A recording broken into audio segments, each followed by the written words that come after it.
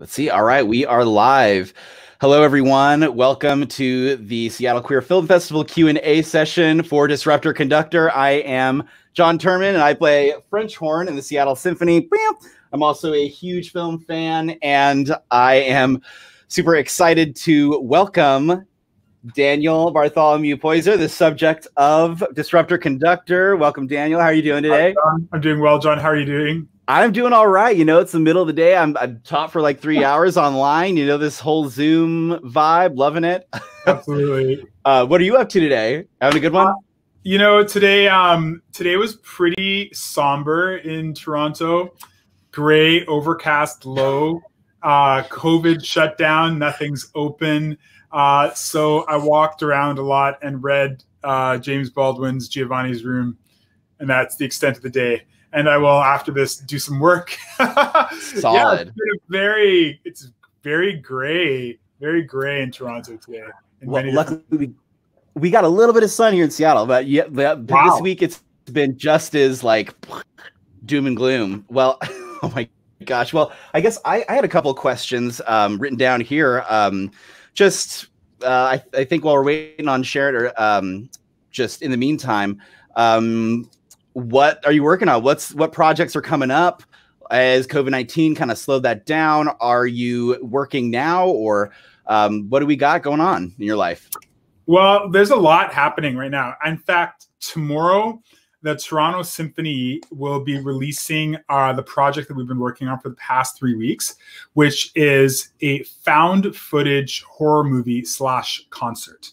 So it's basically the Blair Witch Project meets the Toronto Symphony Orchestra, uh, a Halloween show for young people and for schools and for kids, also for adults. So it's spooky, not it's not really scary. You know, there's jump scares and stuff, but it's fun, uh, spooky, scary it's it's a 45 minute movie movie concert and it's a new thing in it's a new genre that we're, we're trying to create. I think that we have created because i haven't seen anything quite like it yet. And that's what we've been working on um, scripting writing acting and basically taking a movie the like you know all the tropes of a horror movie and putting them together with a concert and seeing what we come up with. So that's that comes out tomorrow and we're still doing last minute things on it right now. But that's uh, that's coming out tomorrow. So that's the, been the big project. We're really really proud of what we've done with that. Awesome! Wow. Well, I mean, just seems like you've like the life of a conductor is very busy and i feel like in uh, disruptor conductor it's represented pretty well you know where especially um dealing not dealing with but you know working with thorgy thor. And um you know it reminded me of like working with a rock musician or working with um these like really big acts where you kind of have to rely on like the last minute uh, rehearsal and like the writing. And with um, your work in this you know edutainment field which like this concert was kind of the first that i had seen of that you know an educational uh, pops show with uh, queer iconography, you know, Thorgy Thor. Um, yeah. I I just kind of want to like, what was the process like for you developing that program? Was it all you? And um, no, okay, how did it happen? So, uh, Symphony Nova Scotia. it's just a regular cough, not a bad cough. Everything's okay. Um, Symphony Nova Scotia. I've been working with them for quite a while, and they called me and they said, "Hey, um, do you think this is something that could work, a drag concert?" And I thought about it. I said, "Yeah, I think it can work." And in talking with Thorgy, Thorgy, from just all of her years working Brooklyn drag, has so many different ideas about how just things to do on stage, like the uh, a walk off competition and quick change competition, all this sort of stuff. And then I, as a result of um, being a pops conductor, being an education conductor, just being a conductor conductor, have ideas about the flow of uh, a two-hour orchestral show with intermission, like what that needs to feel like going through. But then also as a result of being a teacher, I thought of ways that we could have it be, I'm gonna say informative, while we went along. Um, one of the real, a great principle of education is to not let people know when education has started or when education's begun, because then it's like, oh, you know, we're being taught stuff. You know, that's really boring. So we just put things in along the way, like a little bit of queer history there, a little bit of Canadian queer history there, a little bit of um, activism work there, a hug here, just like in, in as, as entertaining a way as possible. So I think that was my contribution to the show. Um, but both of us together were able to really make, I think it's a really special show. It's a really, really special show. And I'm really glad to, to have been the, the inaugural one to perform that with Thorgy. I I absolutely that was like I had been anticipating that show. You know, we heard about it, you know, on RuPaul's Drag Race, and she was saying, "Oh, I want to start the Thorchestra." And it looks like we actually have a we have a question. Are there any plans to do a world tour or even a North American tour with Thorgy and the orchestra? Of course, probably post COVID, um, when we're able to make music in person again with a live audience. Yes. So uh, Gin Palm 007, what you need to do is get on the email to your local orchestra and say we would like to see this show because i can you know i talk to orchestras and I say hey we have this show it's great it's sold out everywhere that we've done it blah blah blah but when people from the public say hey we'd like to hear the show as well too then that's when orchestras really pay up and pay attention so we are i mean we're doing a bunch of places next year uh, we had a bunch of places planned this year but you know what happened so yeah i don't know if a world tour is kind of gonna is going to happen, but we will tour the tour the world with it, if that makes sense. Like we, I don't think we're going to do you know seven months straight back to back, but we'll go. We're going to take it places. So coming soon to Gin Palm or Gin Palm 007. Gin Palm mew mew mew. I don't know what. oh my gosh, we're they're going to be TikTok famous after this. I love it. Yeah. um, okay, let's see. I let's. I have another couple questions written down. Oh, so in the film, we get this glimpse of your music ed philosophy, and I t- totally vibe with it too. I'm very much of like make it edutainment, not it's not like it should be very fun for like everyone to engage, no matter what level you're educating or what level the concert is. Um, I'd love to just kind of hear you expand on your own like personal music ed philosophy. Like, what age? Like, what would you change about um, music education if you could? Hmm. Uh, I would like make it, it more. Yeah. I'd make it more accessible. Make it part of the timetable in schools generally. Um, it's you know, and I'm not I'm not wanting to call anybody out, but it's a it's a subject that you can time and it, in schools you can timetable it out. You can make it such a way that it's totally impractical for students to take it.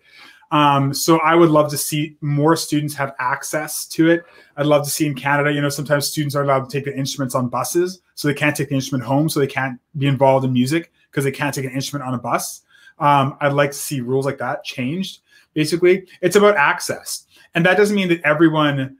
I mean, not everybody can be, you know, first clarinet in the band. And for those students, though, there's football for those people and, and basketball, right? There, there are other things they can do. but um, if everybody had access, I think it would be a really fantastic way for young people to become involved in music, not just in listening to it, but also in playing. So I would want there to be more access across the board. Then also, I would like us to um, involve students and play, as, even as students are learning music from other cultures, because it's fun. Because you know, if, if there are pieces of like reggae and hip hop and stuff like that alongside the Bach, the Beethoven, and the Brahms, and yes, there must be Bach, Beethoven, and Brahms um, as part of the education, then I think it's just more fun. A lot of uh, students will relate a lot more to music that they hear coming from their own cultures. I think there's easy and simple ways to do that. And that's a lot of the work that we're seeing in music education right now. It's becoming diverse. We're holding on to the things that we've always had and adding new things so that the music that's on the stands of the children reflects the children who are actually in the classroom. And that's the movement that's already happening um, all over all over Canada, all over the United States, I think as well too. Yeah. So that's where I'd like to see uh, diversity of music and music education and greater access to music education which looks like funding. yes, it does look like funding, but man, like that that would be so much fun. I'm even thinking like what I wish I would have learned is, you know, Carnatic singing and like all of these other like musics of other cultures or music of First Nations. It's all of these things that we need to now work to bring back to, you know, the heart of music in a, in a city, which can be a, can be the symphony.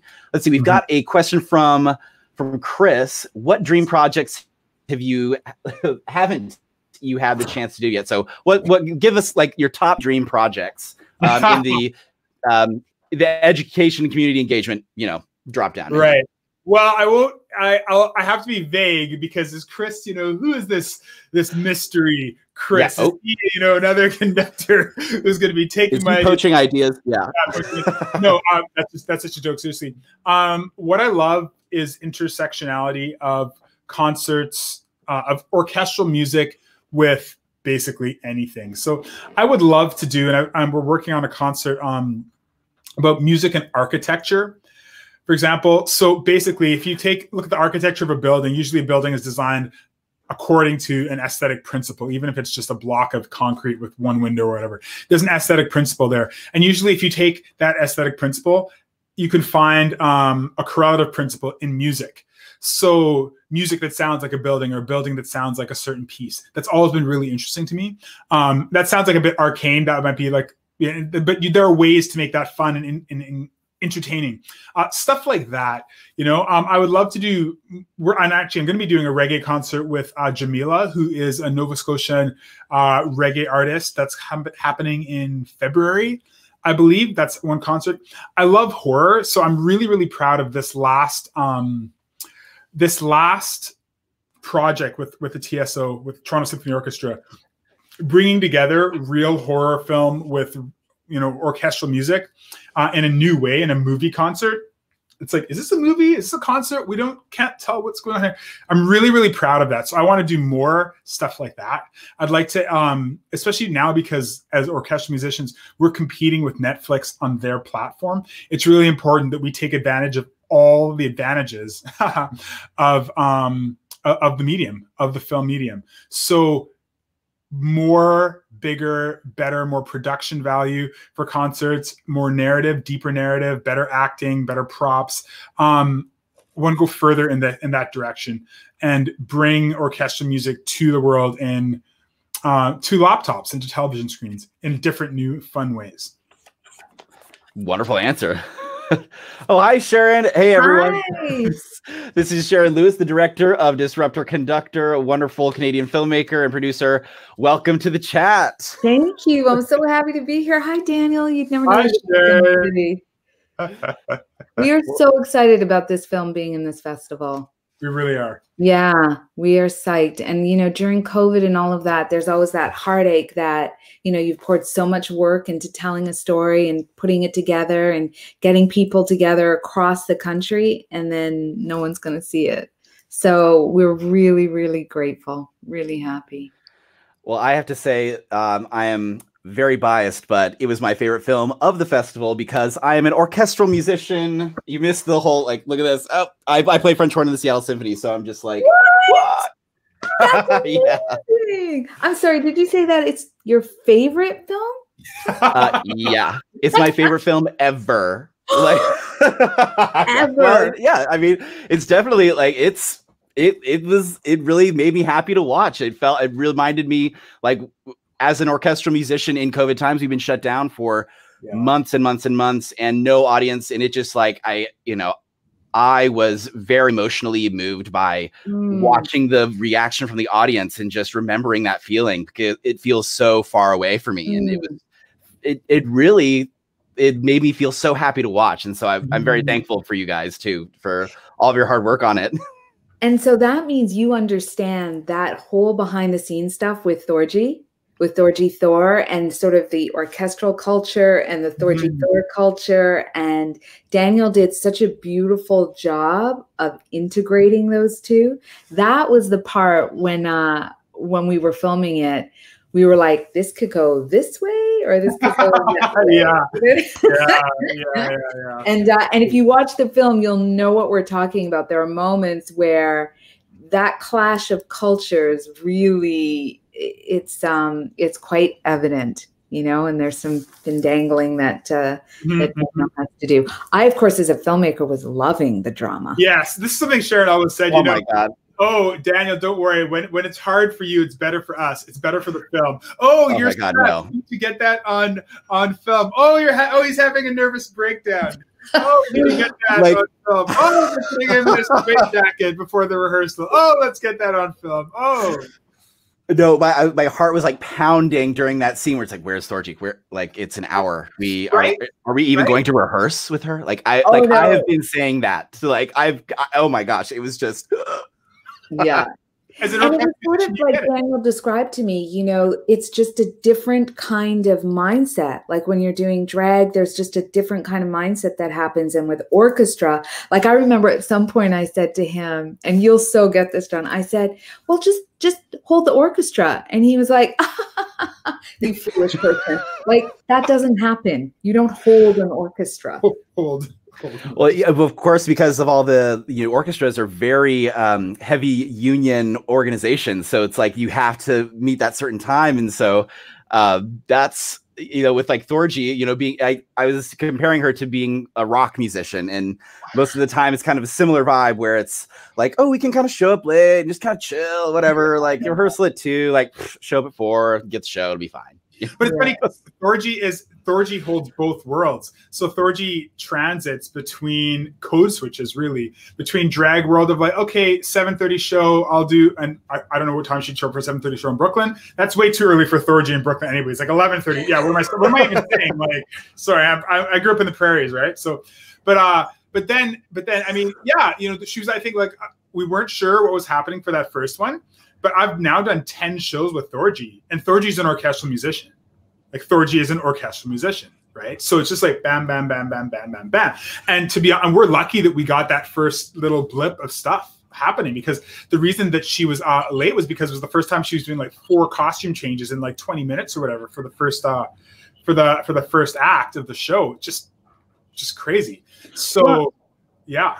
And it speaks to it's the first orchestral drag show ever in Canada. So that show really was and that was the first one that we had filmed. So that you know it was working out its kinks.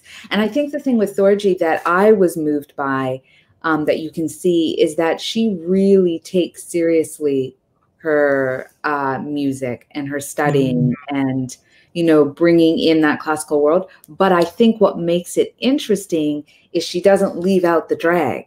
You know she doesn't just all of a sudden forget about that. Like it really is an integration of both cultures. And I think mm-hmm. both Daniel and Thorgy created something magical, especially for a queer audience to be in that situation where they are being welcomed, where they are being spoken to in a way that they're not necessarily always spoken to. Yeah. And it, it speaks back to the theme of the film where showing up as your full self in an orchestra, which is something I very much relate to. I, uh, played in the Dallas Symphony and experienced a lot of homophobia in the workplace, frankly. And when I moved to Seattle, it was a very welcoming and like completely different place. And I was able to show up very fully. And to hear Daniel, to hear you speak about that in the film was, uh, it, it just really like reminded me, wow, this is, I'm not the only one. This is, yeah. this is where I'm supposed to be and I'm showing up fully. And so, I I I kind of I had two questions for Sharon. I I want to know like what what brought you to uh, this project and what connected you and Daniel and how did that um, project start out? I'm really curious on on that. Well, I have to say that um, I met Daniel at the premiere of my film in Toronto, Brown Girl Begins, which is this Afrofuturist film, and what Daniel came in. What's it called? Sorry, browngirlbegins.com. Oh. it's an Afrofuturist film. And Daniel was, you know, I'm running around like crazy. And Daniel came in and he swept in. And I felt like I had met my brother. You know, he was just like, let me do this and I can help with this. But what I found really interesting, and this is my own biases, I looked at him and I was like, you look like me, you sound like you could be part of my family, but you're from a whole world that I don't understand and that I have never personally had a connection to.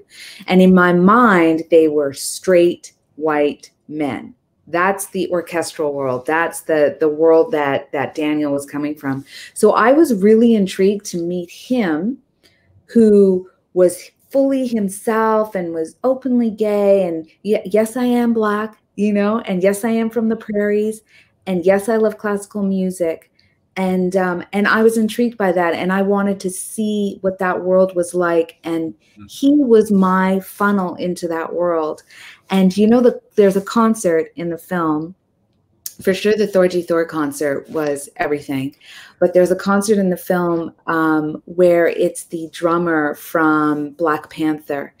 And I remember, I remember that moment sitting in the audience uh, and, and directing the film and being actually moved by the music, like really moved by the music.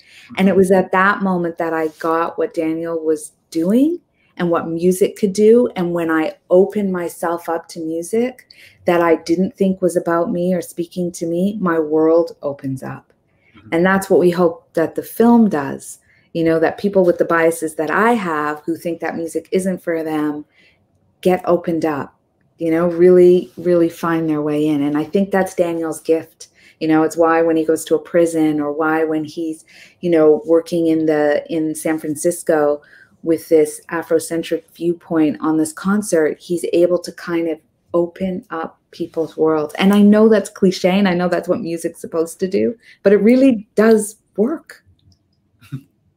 It absolutely does. I I that that concert in San Francisco too. I mean the hand drum, it's like or the singing drum, it's I I got chills when you're describing the moment actually. I don't know, it's like that that ASMR or whatever, but um the but the power of music to open up to um, more and more audiences. We were uh, speaking a little bit earlier about access and about um, how this type of programming is changing what classical musician or what it means to be a classical musician and what um, you you can also be an ambassador to many different cultures depending on how open you are to that mm-hmm. type of change and I I have another like um I guess I'd love to hear a little bit more on uh, or let me just double check the chat real quick. Sorry, y'all.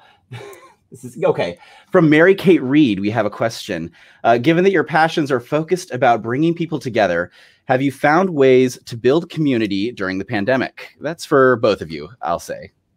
That's an interesting question because, as you were saying, you missed, and I imagine Daniel too, you missed that live interaction, you missed that feedback from audiences, um, that that that symbiotic relationship that feeds you and goes back and forth. Mm-hmm. What I will say is that on this side of being able to present this story, in some ways we're able to reach bigger communities and mm-hmm. more communities because we are online you know so there are ways that um, that you can bring community around each other in a way that logistically might have been tougher to mm-hmm. do in a physical way but daniel i also know you're doing work right now that's doing that yeah we are we're trying and you know i, I don't think an online community will ever be a replacement for you know flesh and blood community um, but it can be it is a preparatory thing for when when things are open up again, and also something to help us get through the current pandemic. So, um, especially in light of George Floyd, we have been doing with Orchestras Canada some sessions for Black musicians across Canada, Black orchestra musicians, just to get together and talk because we don't really know who we all are, basically, and there really are not that many of us at all. There's um, one other professional Black conductor, Larry Strawn in Winnipeg, and then there's uh, one more in Hamilton. So there's not there's not very very many of us. We've been trying to build community in the um, in the BIPOC community, getting professional orchestra musicians together just to know who each other are and be start talking with each other. You know, that's been one of the things that's been really important in the pandemic for me. Yeah. And then also, I would say as well too, like on, in terms of the queer the queer experience during the pandemic. I mean, um, you have laws that came, like especially early in the pandemic, where they said, okay, you can only be with one family well, what if you're a single person and you don't have a family or your family isn't talking to you because they because of whatever reason they don't believe that you're part of the family because you're queer or you're gay or you're trans or you're lesbian um, that's a real thing but where is there any mention of that in like like how, are we supposed to be taking care of ourselves? Or um, when uh, recently we were locked down and or we went back to stage two and they said uh, you can either be with with your family or if you're a single person you have i think within the next two days you have to find like one other person to quarantine with for the next month and it's like oh great so now i have like 24 hours to find a long-term relationship perfect great yeah because i wasn't working on that before and, I, and it was you know you know you know so it's, it's just interesting when you're not part of the okay and, and like what what are people like? What are the what are the lawmakers supposed to do? It's a pandemic, and everybody's improvising. Okay, so fine, fine, right? But it's interesting when you're not part of the of the majority how these things sound different and how it's like because it's like what am I going to do? Who can I go and be with? How do I find a bubble? How do I negotiate that? How do you? It's really um, it's different. So I think the pandemic has been very difficult for queer communities. Uh, and a lot of my queer and I'm when I say queer communities, I'm talking about like me and my like six friends that are talking like this is BS. How are we going to survive mentally through this? Um, so we've had to build community like on. We we just have to be. We had to have been uh, improvisatory and ingenuitive and imaginative about our solutions. So, yeah, end of rent. hey, and and a lot of the work. I mean, um, and Daniel, you're working very hard to uh, bring these virtual performances essentially to i assume that the horror film is going to be streamed to your audience in from toronto and yeah. um, everywhere so that's part of the community building as well so absolutely. You know with everything that we're putting out we have a lot of resources uh, watch guides. So disruptor conductor on the tso tso.ca slash education just tso.ca website. There's a watch party guide. So if you want to with your friends you can watch the disruptor conductor documentary and then discuss questions about um, you know about about what you've seen. Questions put together there. Same thing for the uh, for the horror movie concert that we're putting on tomorrow for the next week, uh, which you can watch in the United States as well too. It's not it's not landlocked. Um, there's a discussion guide for teachers and a discussion guide and questions about you know horror movie and music and all this sort of stuff like that. The importance of sound to the concert and movie experience. Yeah, it's all about getting people talking and engaging with what they're experiencing in the moment.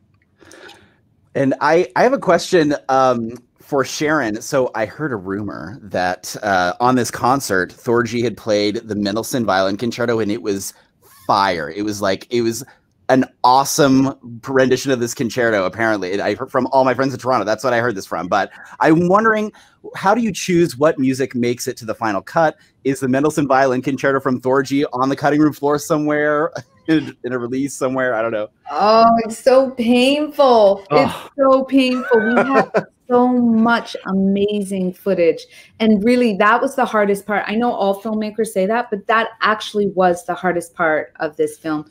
We have so many um, great performances from Thorgy that we weren't able to put in there, great from performances from Daniel that we weren't able to put in there. Um, what happens is our broadcaster, which at that time is CBC, which is sort of like Canadian PBS, um, they have a very specific story they want to tell. And that story is from Daniel's point of view, uh, which is why it's called POV. And the focus is on what Daniel is doing with these concerts. So knowing that that's the focus, that's what uh, what drives the decisions to to cut things. But I mean, I would love to do a behind the scenes release or a big director's version, you know, director's cut where I could include all that in yeah. there. Oh my gosh. yeah. Yeah. Included all my dirty looks and all my angry moments. Oh. there were times where he disliked me greatly. that's all right. That's okay. In the end, um, in the end, he was really happy. Yeah, very. I, I think it's just great. I'm yeah. so happy with it. Yeah. And John, we love that you love our film and we love that you appreciate the challenges that it took to bring an orchestra and a drag show together and um, and just how important it is that music is seen outside of our sphere. You know, with everything going on in the world, it's sort of a metaphor. Like if you can open yourself up to music, maybe you can open yourself up to other points of view and other things that are going on. Exactly. And oh, we're also getting from Karen, yes, yes, a behind the scenes film. I mean, my, I, oh, I mean, you could just release it as a, a, full concert, and I would the, the streaming. All I would I would watch that. That, yeah. that sounds like so much fun. Um, but uh, sure. So I, well, Dan, this is a question for Daniel. What is it like to have a film made about you? Uh, it's initially terrifying and then it's surreal and then it ends up being a very happy thing. I mean, in, in, in this occasion, um, I was very scared at the beginning because, you know, as a conductor, the goal is Deutsche Grammophon. You said no. Oh. you said no. I did say no a lot. Yeah, it's true. But you're, you're always afraid of how you're going to be portrayed and if people will take you seriously. Uh, you know, as a conductor, the, the goal is we're trained in music school, um, and not necessarily wrongly, to want to conduct Beethoven Nine Cycle with uh, with with Berlin, recorded by Deutsche Grammophon. That's the goal. That's the goal, right? So it's like, do I want people to know that I did a concert uh, of, of drag? Do I want people to see me teaching students? Because then they'll think that I'm just a teacher and then da, da, da, da, so at the beginning and Sharon uh, Sharon can talk about this I was just like no no like it has to be this portray me like this like I'm gonna be you know I am the German uh, conductor of the German music und ich bin not Beethoven und alles machen ja um, I, I, wanted really to be portrayed like that but then basically the documentary helped me become more myself and become more comfortable with myself because I was like you know what? I started I taught music. I taught band, junior high band, for ten years. And if somebody doesn't want me to conduct the orchestra because I was a teacher first, well, then I, I shouldn't. I shouldn't be there. It's not going to be a good fit. And I really, really enjoy doing prison concerts. And if somebody doesn't like that, it's not a good fit. And I, if I'm can conduct Black Panther, you bet I'm going to like work out and like do keto to be able to fit into a Black Panther concert so that I can like show that costume. And if somebody doesn't like that, I'm going to like go all out for whatever I do like that. That's okay. I'm gonna, but I'm not gonna let it stop me from doing what I want to do. I wasn't like I wasn't talking like this a year and a half ago. That's Sharon, right? And uh, Sharon, am I lying? No, no, it's true. And I think that um, I think when you watch the documentary, you'll see that journey. You'll see a bit of that journey that Daniel comes into himself more and more as he gets more and more comfortable with what he's doing and obviously with us being there. And i think that's why for us the thorgy concert comes at the end of that journey because it's sort of a melding of all of who daniel is. And there's a lot of pressure. I mean like i think one of the big pressure moments is conducting san francisco symphony the entire san francisco symphony for the first uh, it was like the fourth concert with them but this is the first time i had the entire orchestra in a concert for a doc with a documentary crew there watching everything the good the bad the ugly for a documentary that's going to go around north america. There were some moments of just like deep very very deep breathing and just trying to relax. It was pretty intense so yeah well, the final was so amazing. I, I loved, loved, loved it. And so do all the fans that are in the chat. Uh, people are curious, like, what happens next? Where can we follow for more information on Disruptor Conductor? Um, plug the Instagram handles, give us everything you need, Sharon and Daniel. I know we're kind of at the halfway or the half hour mark, so we'll probably start wrapping it up. But um, where well, can we find more info on the film? Sure. There's a website, disruptorconductor.com. So definitely go to disruptorconductor.com. And that's where you can find out what next film festival it's in, maybe the behind the scenes, which I would love to do and release a behind the scenes, um, and find out more about Daniel and what he's doing yep. as well. And my website's danielbartholomewpoyser.com. Um, and I'm on Instagram too. So Instagram's the best place where I'm posting most of the stuff, danielbartholomewpoyser.com. And just get in touch and say hi. Excellent. Well, thank you. Thank you both so much for joining this Q&A session. And I also want to take this opportunity to thank the Canadian consulate, the Canadian consulate of Seattle who supported this screening and oh, hope you guys have a wonderful, safe end to your weekend. Thank you so much. This is such an amazing film. Um, you guys must be very, very proud. Thanks Thank so much. You so much. Thank you very, very much. Thanks oh. again for having us. And I hope you all enjoy it. And please like hit up our website, give us comments, follow Daniel, let us know what you think. Yeah. Ask for Thorgy. And I hope to see you sometime. I'll try and I'll try and be clear. I'll try and be clear. Oh, you oh, you are so clear in the film. I'm like, dang, I would. What would I give for a conductor as clear as that, man? okay, I'll try, I'll try and stay clear. I'll try and stay clear. Good. Okay. Awesome. Bye, y'all. Thank you again. Bye. Thanks, Thanks so much. Take care. Bye.